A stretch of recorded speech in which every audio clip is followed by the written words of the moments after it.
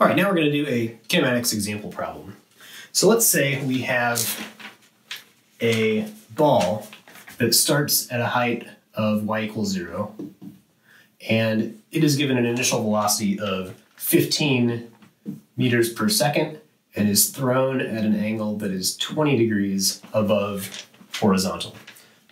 We could write all this in words, but I'm going to draw a picture instead.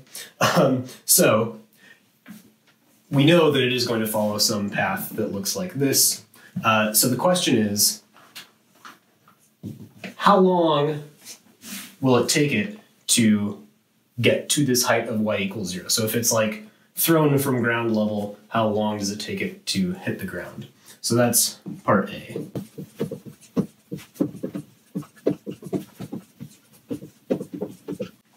That's part A. Uh, part B will be how far does it go?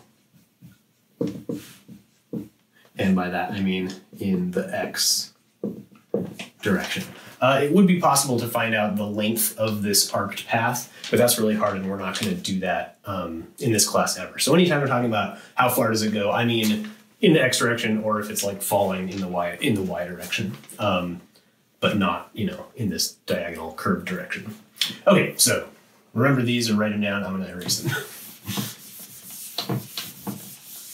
okay, so we want to know how long it takes it to get over here. Uh, so we want to find t at that spot. The only other thing we know at that spot is that y equals zero. So that is a clue that we will have to use the y direction to solve for what is going on there. So anytime we have a velocity at some angle, we can break it into its components. So uh, 15 meters per second at an angle of 20 degrees.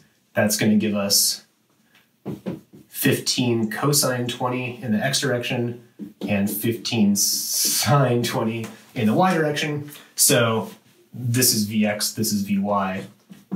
So Vx is equal to 15 times the cosine of 20, which is 14.1 meters per second.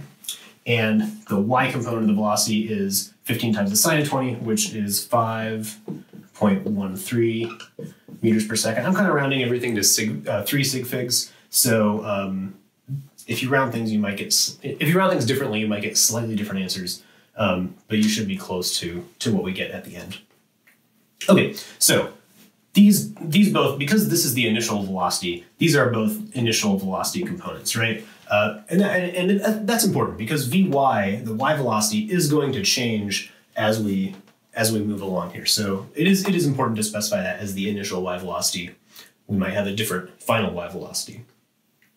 Okay, so we want time. We think we need to use the y direction to get it. So let's write down everything we know in the y direction. y initial, y final, vy initial, vy final, ay, and t. Okay, so we know y initial is zero.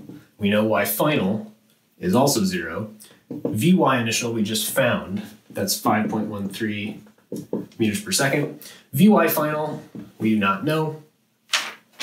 Ay, again, assuming this is on Earth, unless we're told otherwise, minus 9.8 meters per second squared.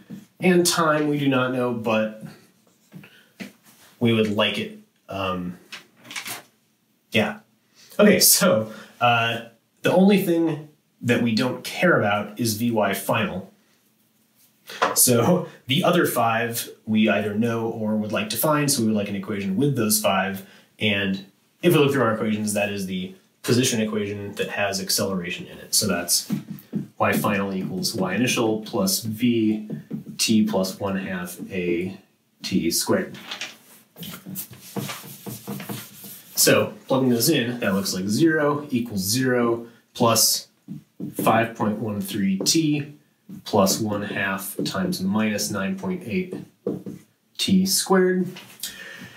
It kind of looks like we might need to do the quadratic equation, but we do not because this term is 0, which means there's an easy solution. We just divide both sides by t, and we get 0 equals 5.13 uh, minus, so a half times 9.8 is 4.9 t. So 5.13 minus 4.9t equals zero. So add 4.9t to both sides, divide by 4.9, and we get something a little bigger than one. We get t equals 1.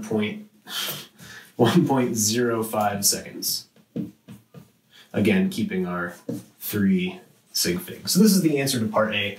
It takes the ball 1.5 seconds, 1 1000 to get from there to there. All right.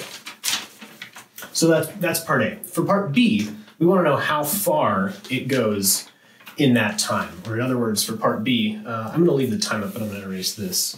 So for part B, we want delta x.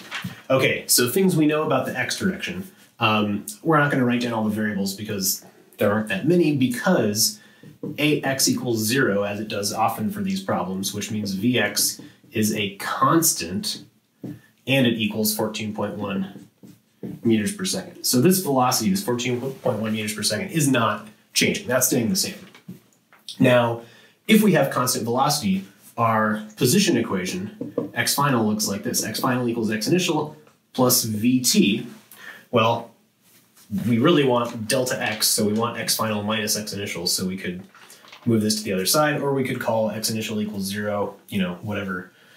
Whichever way, the point is, what we're actually looking for is this vt, because um, if x initial equals zero, x final equals vt. That's what we want. Okay, so uh, v is 14.1 meters per second. Uh, and our time is 1.05. And multiplying those together, we get uh, 14.8 meters. So that is our distance in the x direction. So uh, part A, you can see you needed the answer for part A this time to solve for part B here. Um, so if if we had only been asked part B, that is, you know, okay, here's how the ball is thrown, how far does it go? Um, we would have had to find this time anyway. So, you know, we had to find the answer to part A to solve part B. That's the that is how you get to the answer for part B.